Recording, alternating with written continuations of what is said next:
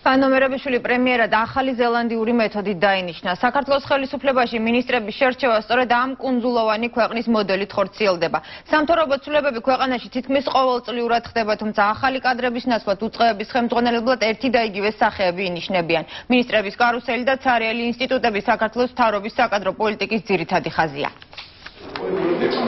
მინისტრთა კაბინეტის ძველი სახეების ახალ პოზიციებზე დანიშნვა საქართველოსი ტრადიციად იქცა. თუმცა ამჯერად მინისტრები არა მხოლოდ თანამდებობებს წვლიან, არამედ მოადგილეებს და დეპარტამენტის ხელმძღვანელებსაც.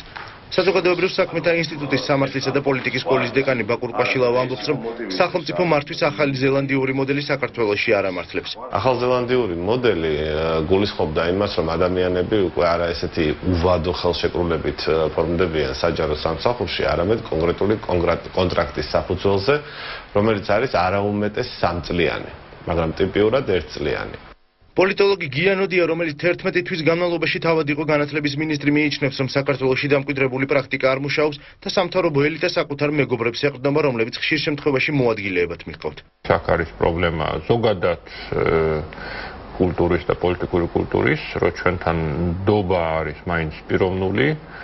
ადამიანები ენდობიან, ასე ვთქვათ, არა იდეების გამო ან რაღაც ინსტიტუციური კავშირების გამო, არამედ ნუ ენდობიან თავის ახლობლებს, მეგობრებს.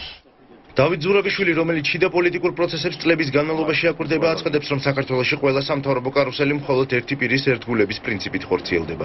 არც ახალზელანდიური მოდელია, არც ავსტრალიური, არც ფრანგული, არც არანაირი სერტარენაირი მოდელი არ არის, ეს არის სააკაშვილის მოდელი, რომელიც ვერანაირ კრიტიკას ვერ უწევს. ბოლო პერიოდის სამთავრობო კარუსელით რამდენიმე მინისტრმა ისარგებლა სააკაშვილისაც უკვე ყოფილი ფავორიტი ირაკლი ოქროაშვილი ჯერ შინაგან საქმეთა შემდეგ თავდაცვის და ბოლოს ეკონომიკის მინისტრად დაინიშნა. განათლების მინისტრის სავარძელი პროკურორმა ნიკა გვარამიამ დაიკავა. ბაჩუ ახალაიამ სასჯელახსრულების დეპარტამენტის უფროსად 3 წელი იმუშავა.